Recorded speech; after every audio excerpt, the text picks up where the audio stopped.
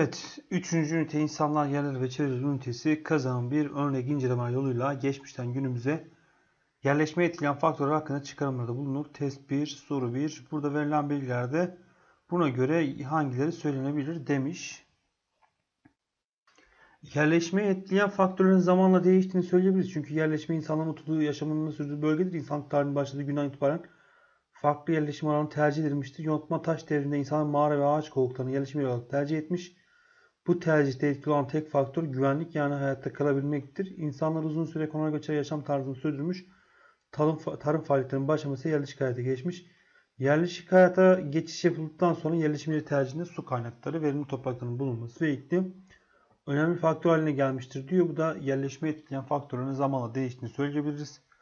Doğal koşulların yerleşme üzerinde etkili olduğu tabi burada verimli topraklar doğal bir koşuldur. Su kaynakları yine doğal bir koşuldur. Dolayısıyla ikinci öncülümüz de doğru. Ekonomik faaliyetlerin yerleşmeyi etkilemediği hayır etkilemiştir.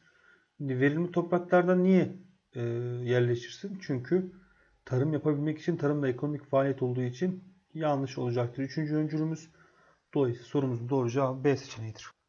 İki doğal faktörler doğada kendinden var olan özelliklerin yerleşme etkilemesidir. Beşeri faktörler ise insanın etkisiyle gerçekleşen daha çok ekonomik faaliyetlerin yerleşme etkilemesidir. Buna göre açıklanan hangisi yerleşme etkileyen doğal bir faktördür?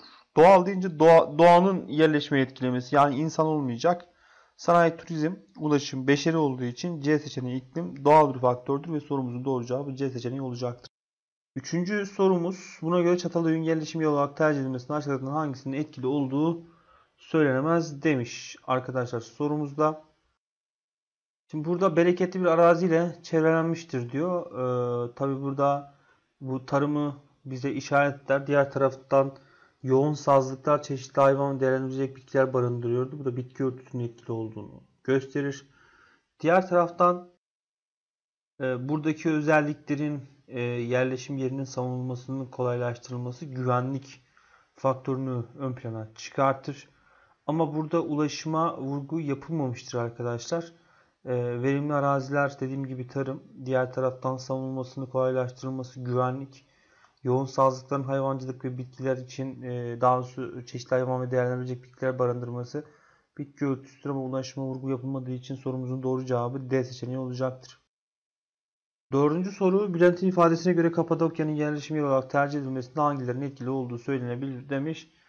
Sorumuzda arkadaşlar. Şimdi burada Kapadokya bölgesi Türkiye'nin ikinci büyük su havzası içinde ve Kızılırmak'ın kıyısında yer almakta. Bu su kaynaklarını doğrulamakta. Bölge aynı zamanda İpek yolunda güzergahı olmuş. Bu durum Kapadokya bölgesinin yerleşim yeri olarak tercih edilmesine etkili olmuş. İpek yolu üzerinden ne yapılır? Ticaret. O zaman ikinci öncülde alıyoruz. Burada iklime vurgu yapılmadığı için birinci öncül yanlış. 2 ve üçüncü öncül doğru. Dolayısıyla sorumuzun doğru cevabı C seçeneği olacaktır. Beşinci soru verilen diyagramda numaralandırarak verilen bilgilerden hangisi yanlıştır diyor. Nüfusu etkileyen, nüfusun dağılışını etkileyen doğal faktörler diyor. İklim, yer şekilleri, su kaynakları doğaldır ama sanayi beşeri bir faktör olduğundan sorumuzun doğru cevabı B seçeneği olacaktır. Altıncı soru Anadolu'nun çeşitli bölgelerinde tarihteki ilk yerleşim yerine bir olma özelliğine sahip olmuştur. Bu durumun ortaya çıkmasında Anadolu'nun aşağıdaki özelliklerden hangisine etkili olduğu söylenemez. İklim elverişi su, su kaynakları zengin, önemli ticaret yolları üzerinde bulunuyor. E, verimli topraklar var ama ormanların geniş yer kapladığını söyleyemeyiz. Çünkü ormanlar geniş yer kaplasa zaten bu yerleşmeyi sınırlar. Dolayısıyla A seçeneği sorumuzun doğru cevabıdır.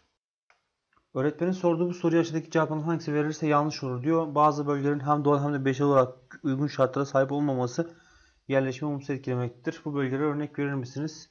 Kurak bölgeler, engebeli alanlar, ormanlık alanlar yerleşmeyi kısıtlayan ve yerleşme olumsuz etkileyen bölgeler. Verimli ovalarda e, tarım yapıldığı için nüfus yoğun olduğundan sorumuzun doğru cevabı D seçeneği olacaktır. Evet yerleşme etkileyen faktörler doğal faktörler, beşeri faktörler toplam numaralandırarak boş bırakılan yerlere aşağıdakilerin hangisi getirilirse doğru olur. Doğal faktöre ne yazabiliriz arkadaşlar? Toprak yapısı e, doğal bir faktördür. Verimli ovalar yine doğal bir faktör.